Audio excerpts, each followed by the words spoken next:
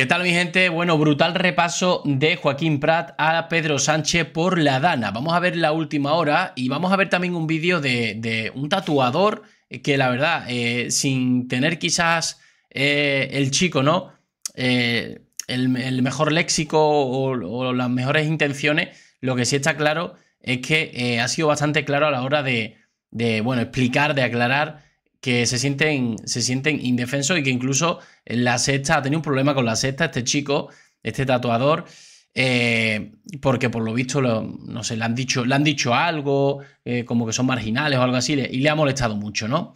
Bueno, si os parece, vamos, vamos a ver primero este vídeo de este chico, que, que es bastante interesante, porque bueno, al final hay que estar al pie de la calle para saberlo.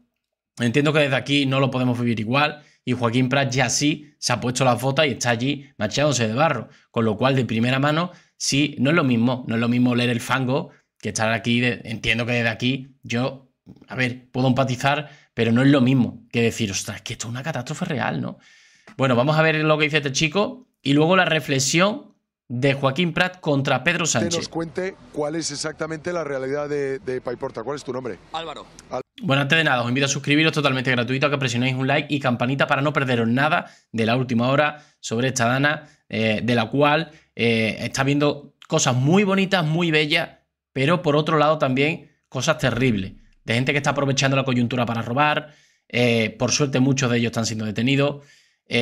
también los chicos de. los tres chicos que, que, que, bueno, increparon al vehículo oficial de Pedro Sánchez también. Lo tenéis en el vídeo anterior, ¿vale? Para que lo tengáis todo en orden.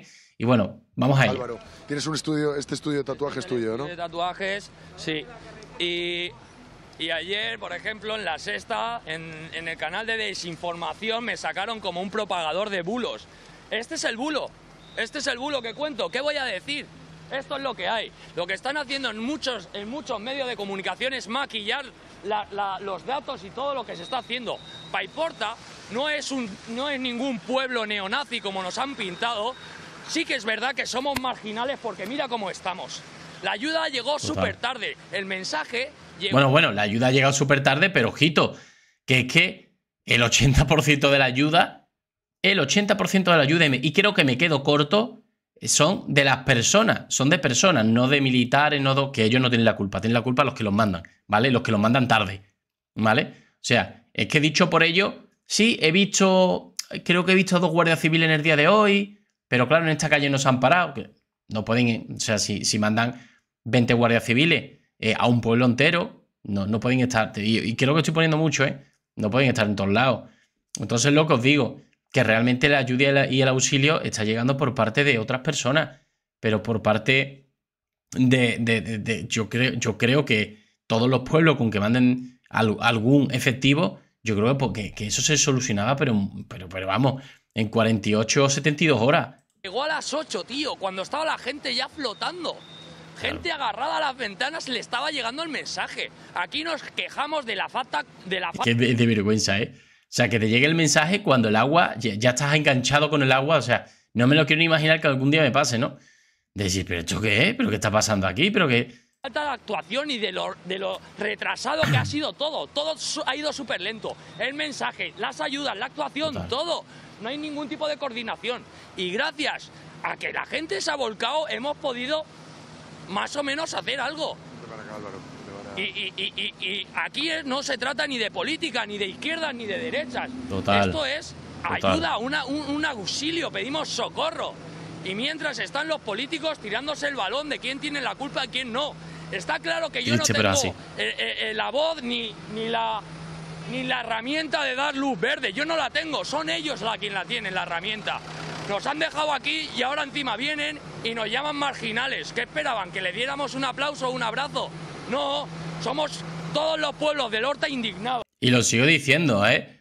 Eso que está acumulado ahí, si viene... A ver, no creo que se desborde otra vez. O sea, eh, esto ha pasado una vez en toda la vida. Que sepamos, ¿no? Pero si esto vuelve a pasar eh, algo gordo de volver a llover muchísimo, es que ahora, eh, antes los muebles estaban dentro de las casas, ahora están en mitad de la calle.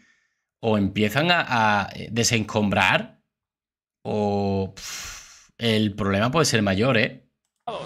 Y no queremos que se nos tache, ni que mientan, ni que maquillen nada de lo que está pasando aquí, día y noche. Y solamente espero que todo el mundo se dé cuenta que lo que está pasando aquí es mucho más grave de lo que se está diciendo en el resto de televisiones. Así que nada, yo voy a seguir con toda esta mierda, que estoy seguro que ellos en su casa no las tienen y van a poder seguir eh, eh, haciendo vida normal. Nosotros nos han cobrado ya la cuota autónomo, eh, todo el tema de IRPF de trabajador de seguridad social y todo eso ya nos lo han cobrado. ¿Y qué estamos haciendo? No, no, este hombre ahora mismo, fijaros, fijaros el plan de este hombre, de este hombre en concreto, ¿eh? Tiene que pagar, limpiarlo todo y luego esperar a que venga un cliente. ¿Creéis que un cliente se va, a hacer un tatuaje este mes? ¿Creéis que va a haber algún cliente este mes que se preocupe, que tenía ganas a lo mejor de hacerse el tatuaje o incluso tenía cita? ¿Creéis que esa persona se va a gastar ahora 60, 70, 80, 100, 200, 300 euros en un tatuaje cuando ahora mismo lo que le importa es limpiar su casa, limpiar su barrio y ahora mismo el tatuaje ha pasado a segundo plano? O sea, es que esto será, esto ahora, sí, ahora mismo se ha cargado. O sea, es que este hombre para levantar cabeza le, eh, le faltan varios mesecitos, ¿eh? Bueno.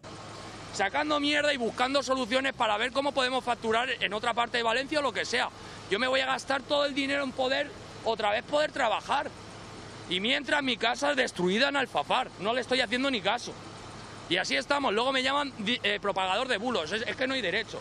A los medios de le, le habían dicho propagador de bulos. Es que no, es que son medios de desinformación. Así que te doy las gracias por, de verdad darme un poco de voz y que se vea todo, porque esto ya no es paiporta, son todos los pueblos del Horta que estamos igual.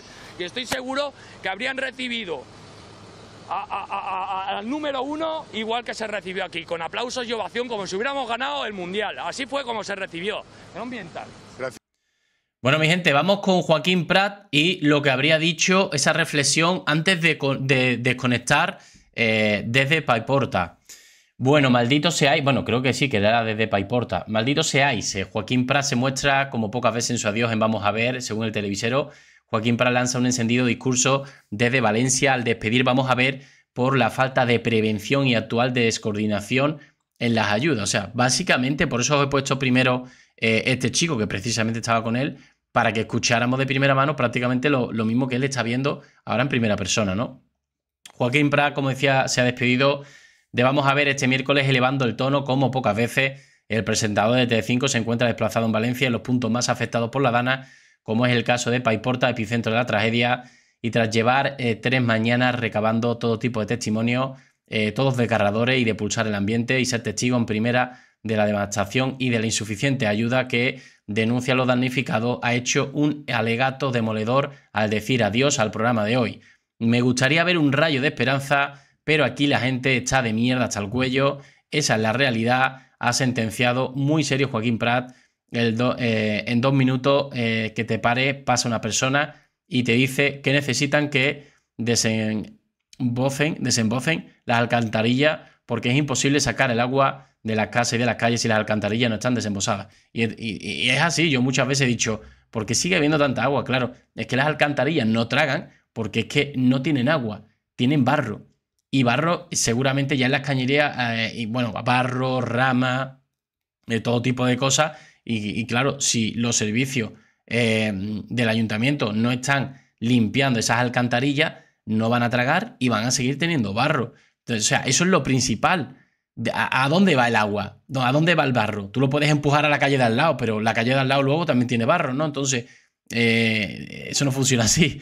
me explico, o sea que primero tienen que empezar por, por eh, digamos, que funcione el agua, la luz y el, alcantarillado, la recogida de, residuos, eh, retirar toda la porquería que hay en la calle, todos los materiales, eh, descoprar, vaya.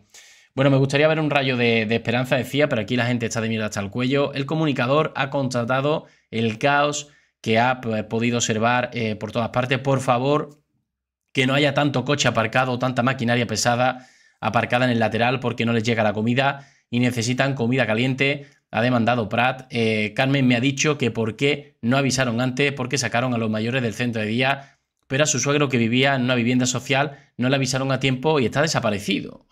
ha ejemplificado. Hay que coordinar un poquito mejor las cosas. Esto tiene que invitar a una reflexión profunda. Entonces esto eh, poco a poco va mejorando, pero sigue siendo el caos eh, más absoluto y esta gente necesita ayuda hoy y va a necesitarla durante muchas semanas e incluso meses. Hay que coordinar un poquito mejor las cosas. Esto tiene que invitar a una reflexión profunda, señalado Joaquín Prat como recado a la clase política. Antes, una fuente muy autorizada me decía que viendo cómo bajaba el agua desde Utiel y desde Chiva, si hubiesen tenido una hora, no habría nadie en la calle y no habría fallecido. No, no, es que es así. O sea, si tú avisas con una... Mira, otra cosa es que haya un fallecido porque eh, alguien diga, eh, esto como siempre, que lleve un poquito, bueno, que el coche casi casi llega ahí y me tengo que aguantar un poco en el coche hasta salir. Bueno, lo típico de que hay gente que no se cree mucho de la que va a caer es increíble, no, no, de acuerdo. Si le ha pasado por, por eh, desobediencia, perfecto. Pero que si la alarma se da y todo el mundo hace lo lógico, que es, oye, se os puede caer algo encima, que podéis morir ahogado. La gente no sale, la gente se, se recluye, ¿vale? E incluso no solo eso, sino eh, que si muchas casas se hubieran tapado el suelo, hubieran puesto, a lo mejor no entra ni la mitad de agua. Imaginaros hay un montón de, trapos a presión, de, de yo qué sé. Si, si, se hubiera sabido, claro que, que la gente se protege de alguna manera. Bueno, eh, hay un protocolo de emergencia aprobado desde el año 2003, estamos en 2024, maldito seáis, todo lo que no lo habéis aplicado se ha revuelto Joaquín Prat, que insisto, no suele entrar en estas cosas de esta manera. ¿eh? Hay que estar aquí para ver el dolor de esta gente, hemos intentado darles voz y hemos intentado reflejar la realidad, pero lo que hay aquí es mucho peor de lo que podamos mostrar en cualquier programa de televisión, cualquier periodista. Ha culminado su discurso antes de despedirse de Vamos a ver. Mi gente, totalmente de acuerdo tanto con el chico que ha hablado antes, con el tatuador de Paiporta como eh, Joaquín Prat. Ojalá que esto se menee un poco más, que empezamos a ver, eh, yo que sé, a partir de esta tarde, que, bueno, pueda comentar algún vídeo un poco más bonito, en plan, oye, eh, ya hay alguna calle que está entera barrida y limpiada, hay un montón de vehículos que se han retirado, de ramas, de electrodomésticos, de, de muebles, y ojalá empecemos a verle otro color, ¿no? En fin, mi gente, nos vemos en el siguiente vídeo. Eh, dejen vuestros comentarios. Un saludo